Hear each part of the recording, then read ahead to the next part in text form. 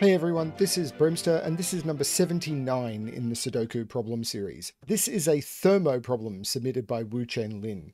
Um, and the way that thermos work, of course, is that digits must strictly increase from the bulb to the tip. So as you go up from the bulb, the digits must go up. They cannot stay the same and they cannot go down. Now the goal on this one is to place the digits in all of the highlighted boxes. Um, I originally set this one with X's and it was way too busy. So I've gone to the boxes. I know they don't overlap and there's a little bit of issues here, but this was the one with the best visibility. Um, this is just not the way the tool is designed to work. So yeah, we're trying to make it work, but I think it's clear enough. Um, so there is a link below to where you can get a copy of this problem for yourself to give it a try.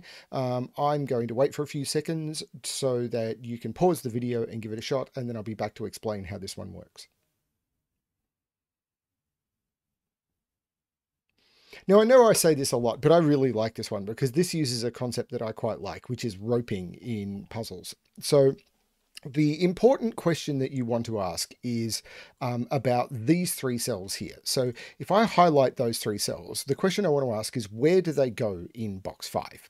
So they can't go in the same row and they can't go on the same thermo because all of these digits have to be higher than these. So they can't contain the same digit. So I cannot put any of the three green digits in here. So these become the three green digits.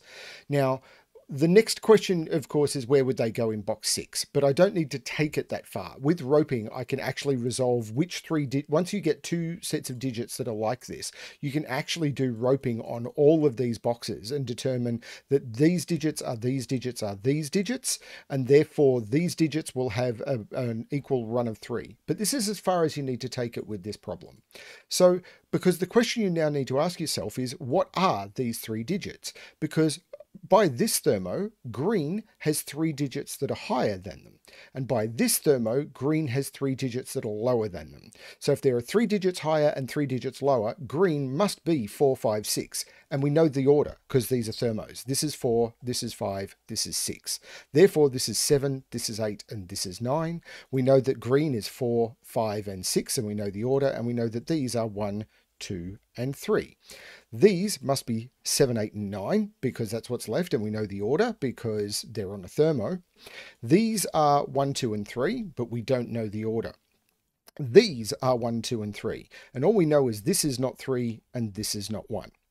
Now, this has to be higher than 2, and we can actually do some pencil marking in here. So this has a maximum of 6, this has a maximum of 4, because there's already a 5 in the column. This has a maximum of 3. So this can't be 3, or this would have nothing. So this is 2, this is 1, this is 3.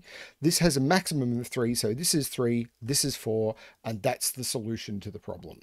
Um, you can't actually determine with the information given whether this is 5 or 6. So the whole structure of this is boils boils down to realizing that these three digits have to be the same as those three digits, and therefore everything becomes nicely forced. I really like the way that the roping is used in this way to give you very, very clear, concise, um, just, it just gives you these digits very, very easily once you understand the roping trick. Um, and quite often roping tricks then involve another complex step after. So I really like this one. Thank you, Wu Chen Lin, for sending it through. I uh, hope you're enjoying the series and all of the content. And as always, good luck with your solving.